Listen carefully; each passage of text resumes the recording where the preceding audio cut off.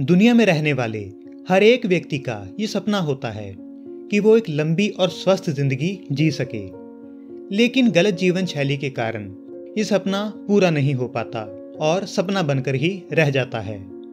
इसीलिए आज हम आपको एक ऐसे इंसान के बारे में बताने जा रहे हैं जिसने दो सौ छप्पन साल की लंबी ज़िंदगी जी है और इतनी लंबी ज़िंदगी जीने का राज भी बताया है।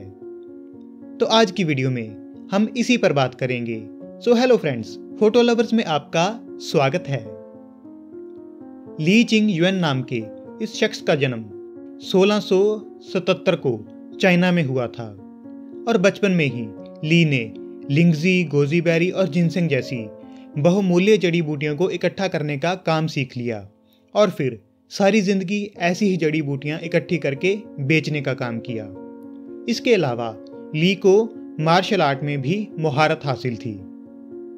ली ने दो सौ छप्पन साल का लंबा जीवन जिया और इस लंबे जीवन में 24 शादियाँ की, जिनसे उनको 200 के करीब बच्चे भी थे। ली की मौत 6 मई 1933 को हुई और तब उनकी लंबी उम्र के चर्चे अंतर्राष्ट्रीय अखबारों और मीडिया तक पहुँचे थे।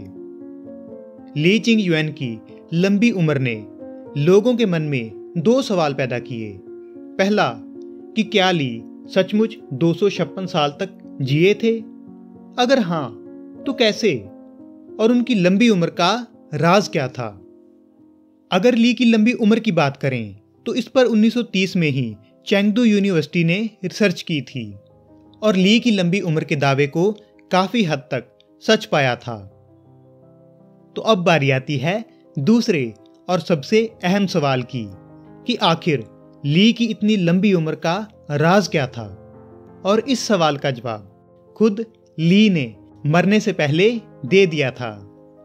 एक व्यक्ति के पूछने पर ली ने बताया था कि लंबी उम्र और स्वस्थ ज़िंदगी जीने के लिए अपने दिल को शांत रखें, एक कछुए की तरह बैठें, एक कबूतर की तरह तेज चलें और एक कुत्ते की तरह नींद लें। अब अगर इस बात का मतलब समझने की कोशिश करें तो अपने दिल को शांत रखना। मतलब डर या चिंता से बचना। क्योंकि डर या फिर चिंता में जीना आपकी उम्र को कम कर सकता है। दूसरा, एक कछुए की तरह जागते हुए भी, बिना हिले जुले, शांति से बैठे रहने का मतलब मेडिटेशन से है, जो शारीरिक और मानसिक शांति के लिए ज़रूरी है।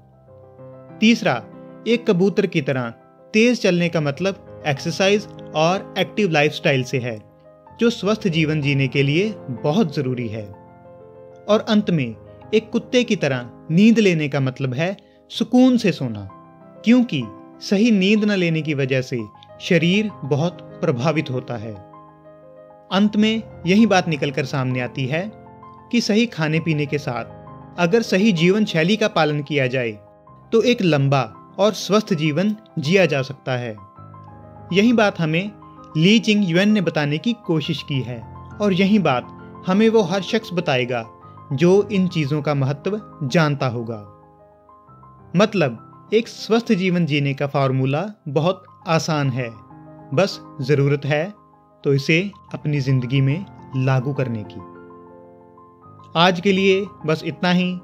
अगर ये वीडियो आपको पसंद आई तो इसे लाइक और शेयर करें, और ऐसी और वीडियोस देखने के लिए फ़ोटो लवर्स को सब्सक्राइब करना मत भूलें।